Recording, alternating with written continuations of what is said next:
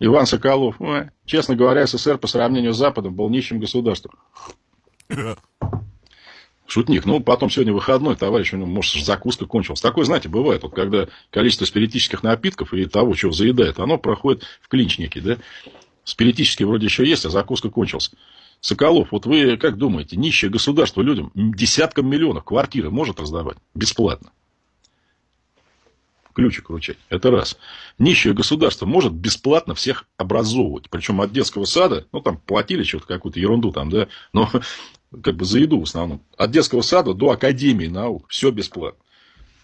Здравоохранение, товарищ Соколов. Идите, полечитесь на Западе бесплатно. Найдите. Дальше. Это ж во сколько государство все это обходилось, вы вздумайте. Но я уж не говорю о пенсионном возрасте 55 и 60. Это когда у человека еще 20-25 лет пожить для себя. Понимаете? И пенсия была не такая, как сейчас. Да, она, может быть, тоже не супер высокая была, но на нее можно было жить. Потому что дешево все было. Так, понимаете, я когда в Германии рассказывал, в ФРГ, мне был 21 год, я в 87 году приехал туда работать в посольстве. Думаете, мне там кто-то верил? Я говорю, у нас бесплатно люди жилье получают. Да как? И знаете, Соколов там еще, еще бесил их. У них уже тогда, в 87 году, стояли счетчики воды. Я был потрясен, они все мылись как-то так, знаете, вот они, я извиняюсь, в тазу посуду мыли. Ну, то, что вот мы в деревне делали, там у нас водопровода не было, там, ну, мы там и то воду из колодца меняли. Я думаю, какие-то счетчики. А у вас говорят, что счетчиков воды нет в СССР. Я говорю, конечно, нет. Ну, это что, типа, ну, сколько хочешь? Я говорю, сколько хочешь. Ну, там какая-то есть плата такая общая. Да не может такого быть. Это что же у вас за супер богатое государство, говорили мне. Или у них тогда еще телефонные звонки уже были вот внутри города, поминутные, с оплатой. А у нас, помните, две копейки в автомате швырнул, и, я не знаю, там уже все стучат, там, да, на, уходи, уходи. Две копейки. Ну, а в рамках Москвы там, или какого-то города с телефона вообще, ну, как бы, говори от пуза, пока не надоест. Да вы представляете, сколько это стоило все? Сколько стоило метро в 5 копеек государству? Понятно, что оно не стоило реально 5 копеек, оно дороже стоило. Государство это на себя все брало. Трамвай 3 копейки.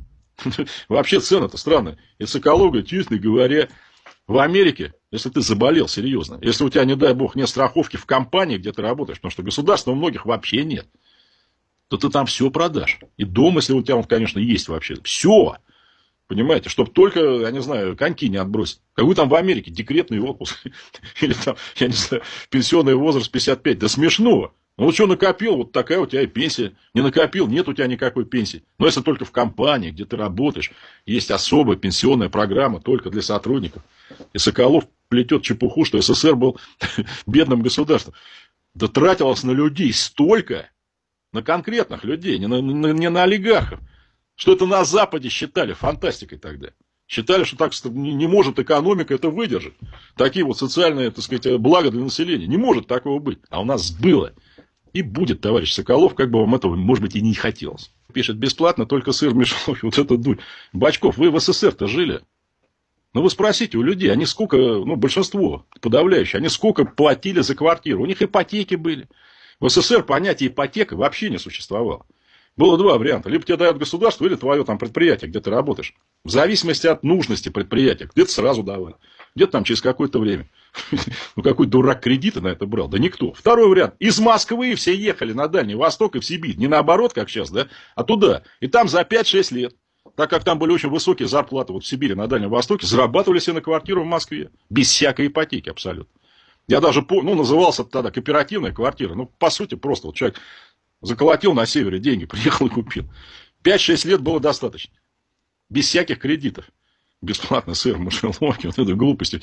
Нет, сейчас все платно. Сейчас сыра просто даже нет. Сейчас пальмовое масло. В мышеловке и то оно очень не бесплатное, к сожалению. Да?